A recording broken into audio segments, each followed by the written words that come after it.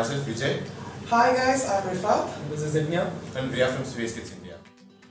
So, dream. So, whenever I think or talk about dream, the immediate thing which comes to my mind is uh, Dr. APJ Abdul Kalam sir's quote. Uh, that you know, uh, dream is not something which you do in sleep, it's something which makes you to not sleep. So, I completely believe in that because it happened in my real life. Uh, from the childhood itself, you know, I was dreaming about the all the electronics, all the robotics and all. And it's not something which I did in my sleep. It is something you'll be awake, you'll be sitting, but your brain will be constantly talking uh, itself to the brain itself. So that is what happened, and uh, that really motivated me to come all this far. And that's why I'm telling uh, dreaming is very important, and it is all about your brain communicating with itself.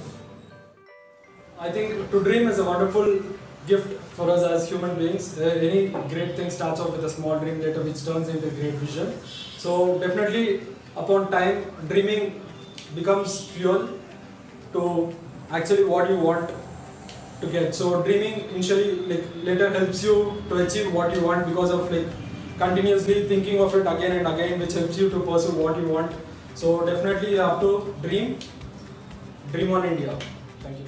About dreams, my message, especially to young people, is to have courage to think differently, courage to invent, to travel the unexplored path, courage to discover the impossible and to conquer the problems and success. A coin has two sides. One is the success side and another is the failure side. Just keep on counting the failure side and one day you will be on the success side by realizing all those mistakes. Just keep on dreaming. Thank you.